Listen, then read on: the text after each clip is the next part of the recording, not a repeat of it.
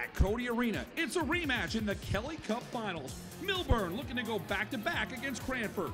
We picked this up in the second period, tied at one. The Millers applied serious pressure, but Cranford goalie Harry Devenny was on his A game. Here, Devenny smothering the Sam Charlotte wrister from the right circle, and then get ready for a beauty. Jack Williams circles. He lets loose a laser, but Devenny snags it with the glove. Oh man, that was a tremendous stop by Harry Devenny. We take another look. Devenny was under fire for all 45 minutes. He was outstanding in between the pipes. Cranford comes oh so close to taking the lead. Ryan Echevarra the shot. Luke Pachowski redirects it. Oh, that grazes off the crossbar.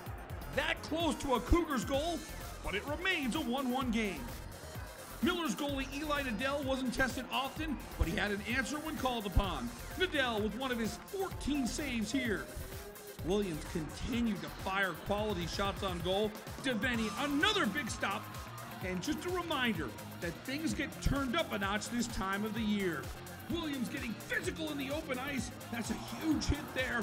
And on the other end, Cranford sandwiches in with hard checking of their own.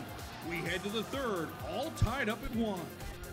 Millburn controlled the puck in the offensive zone for nearly the entire third period. It's Devenny with another huge stop on the doorstep. The Millers had a 33-15 shots on goal edge in the game.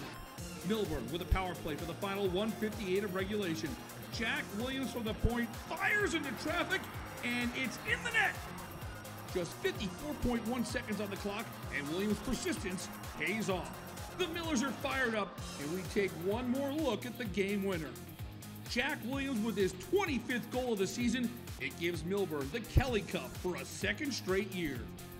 Two to one is your final. Great game played by both teams. The Millers are now 15 4 and 3 on the season.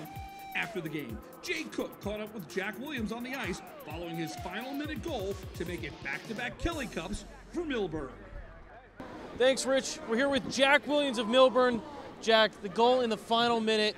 You guys pushed the pace the entire third period. How did you finally break through? Uh, I couldn't tell you. I mean, we worked so hard all season just to come down and end it like that. It's no one, no better way to end it. No better way to end it. Your goalie played well. I mean, defensively, you guys almost let up no shots. What was the method of this game? How did you guys see uh, was the path to a win? Well, every team we play, we always focus on D zone first, and I guess it worked out that game. And they got they got a nice shot on net in the first period, but we were able to come back and win it. When you guys are rolling like this, now the state tournament's coming up. How does this help you guys push forward as, as the big the big tournament comes? Definitely gives us momentum coming off this win. Uh, we have a lot to look forward to. Hopefully, we get pretty far into the tournament. Congratulations to the Millburn Millers, 2019 Kelly Cup champions. In West Orange, I'm Rich Grampanis for JerseySportsZone.com.